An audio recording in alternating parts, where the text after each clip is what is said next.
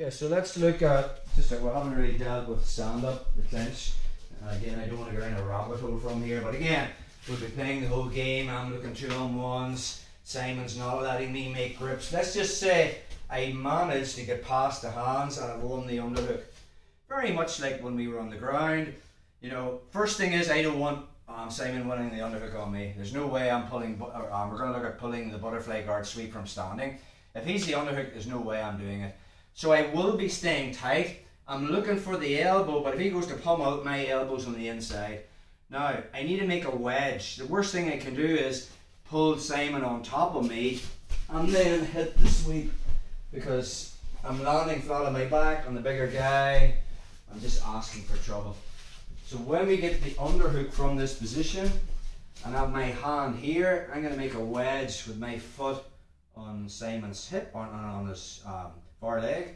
And as I fall back, I'm falling onto my side, putting in my butterfly hook and sweeping him as he falls. The problem is, how the heck do I get, unless I've done yoga, this foot here, I'm very off balance. And anytime I put one foot here, he can step in and take my other leg. So the detail is, I put my head in his throat and I push so he steps back with that leg.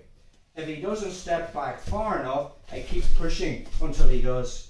Just circle this way, bro. So once, I, once I've got that leg further back, my foot comes here, but I'm not staying on my other leg for long. The minute this foot comes in, I'm pulling him onto my side, and I just put him my put him over. And now we are into super chill. One of those moves you have to go for it. If you hang around and stall, you're gonna get your supporting leg swept when I come up. So let's just say getting past the whole how to win the underhook from standing, that rabbit hole. Let's just say won that underhook, which will be a battle on its own.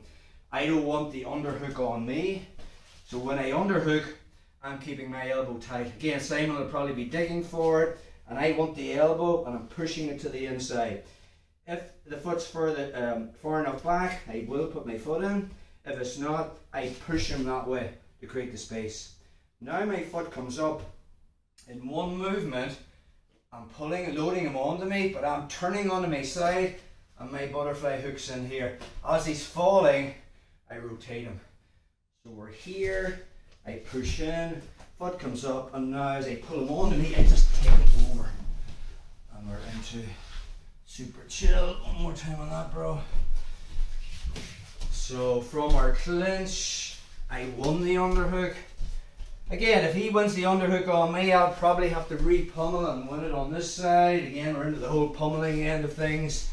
So I don't want to get into that ball. So I'm pushing. Notice the way my head is on the same side as the underhook. I just give him a little nudge to make him step back with that leg. Foot comes up, and now from here, I just go. Now we're into super chill broken scarf. So, pulling butterfly guard from the clinch.